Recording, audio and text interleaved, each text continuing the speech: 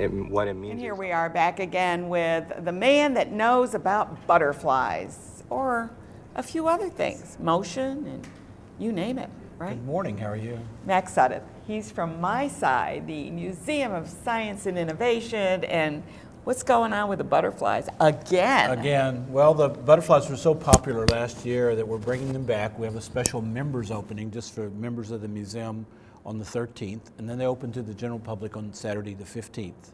And you know, we're open every day, uh, Monday through Saturday from 9 to 5, and on Sundays from noon to 5. So you're open every day. Yes. No, uh, no reason not to go. Right, and it's. I think it'll be very cheering, to, given the weather we've got right now, to go inside and walk with several hundred monarch butterflies.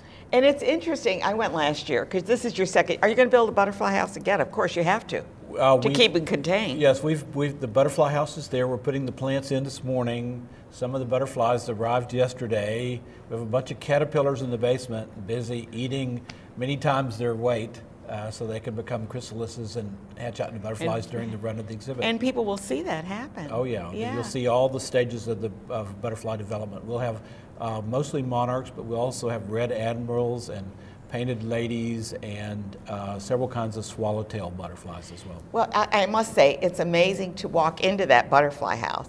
And then as you're leaving, people are picking butterflies off you, off your hair and your shirt and your back. You don't let them out unless the butterflies are all off them, right? Right. Sometimes we get hitchhikers, and so we want to I take the those hitchhikers, off. hitchhikers But, off. but And they seem to not be uh, too concerned about people. They just, no, butterflies are not really afraid of very much. yeah. And uh, the Their brain is probably pretty small. well, it, the interesting thing about the, uh, and some people wear perfumes or, or, or colors that really attract the butterflies. Oh. And so you just never know. And then sometimes, you know, the uh, people come to be cheered up. And, you know, we, at my we side. have photos too, Yeah, so that's yeah. great. We'll look at At that. miSci, we mainly think about being a sort of edutainment for families so Uh-huh. that families with children come. But for the butterflies, we get senior citizens, We've got young couples who are dating, sort of a romantic date to come to the butterfly house. Anybody get married in the butterfly house? Not yet. Well, Hey, there's an idea. we've had a couple get married in the planetarium. oh, okay. So, and several proposals. I mean, if you if you want to make a special deal with us, we can flash your proposal on the stars. Whoa, So- how about that? And the stars. Oh, would that be cool? Yeah, several people have thought so. Yeah, that's so you, you don't have to We- we- reprogram we're- it every time you We're got just it. now. always worried. What if she says no? You know. This, the alignment will change. Yes.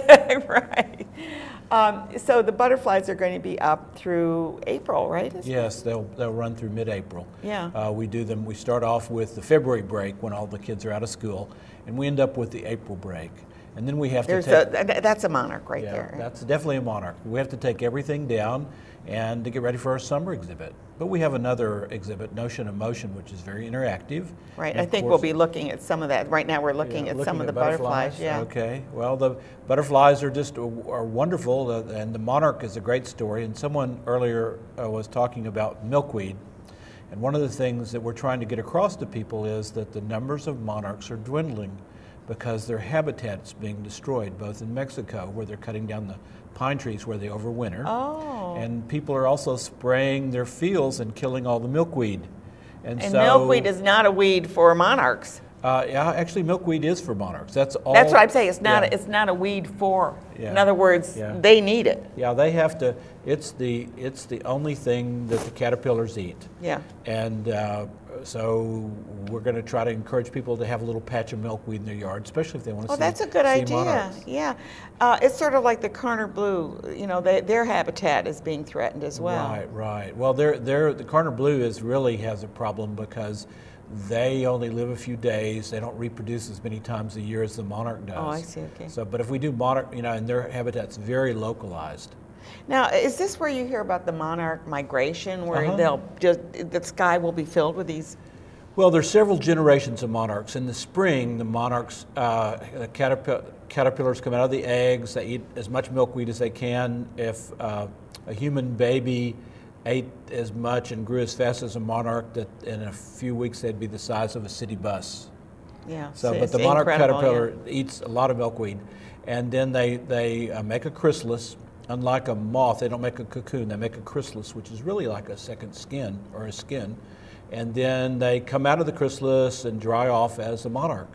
and they mate and lay eggs, and the cycle uh, starts again. And the eggs that they lay hatch out in the late summer and fall, and those become caterpillars that become monarchs that fly to Mexico. No matter wh- whether they're in Canada or California or New York, they make this wondrous migration all the way to Mexico. Is that that's incredible? And they overwinter there and they fly part of the way back. And uh, they have offspring, and those offspring make it back to where they started from. Now, sort of like they- the salmon, yeah. How yeah. they know to do that. So- Incredible. Um, wh- wh- you, you kind of intrigued me with the milkweed. Is that something if, uh, say, we're here in the Northeast, if we put milkweed in our back areas, would that help? Sure, sure.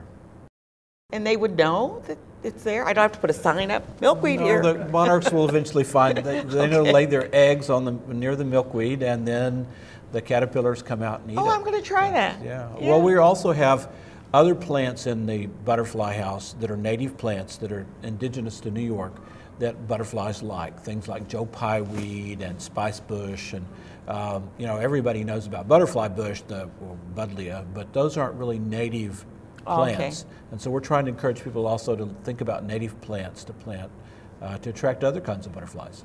Well, if you want to learn an awful lot, it, not just about butterflies, but about motion, because you've partnered with the Explorat- San Francisco Exploratorium with their uh, exhibition. Uh, they certainly are bringing in some wonderful exhibitions, and it's a way for your kids to learn and have fun. Yes. Have fun with science. Right, we call it edutainment. It's the exploratorium exhibition Notion of Motion is very interactive and, and people explore it of all ages, but uh, we notice that they come back again and again to see it. Well, I know when I'm there, I'm like, I, I've just dropped down to about eight years old because I'm just like, push the kids out of the way. I want to get in here. no, I don't do that really, but anyway, great stuff. You're doing wonderful, wonderful things in our community. miSci is up at, at uh, Nott Terrace Heights. It's right across from the um, Holiday Inn. Yes? Yeah, kind of. Uh-huh. They're under If you renovation, If but you see the locomotive on Nott Terrace, You found that's- it. That's the turn. Yep, make that turn. And you will not be disappointed. The places, I've been there for the, the uh, butterfly exhibit, and believe me, it is packed. It's wonderful to see kids so excited about science. Thank you so much. Well, thank you for Doing having such us a great again. job. We'll see you again, too.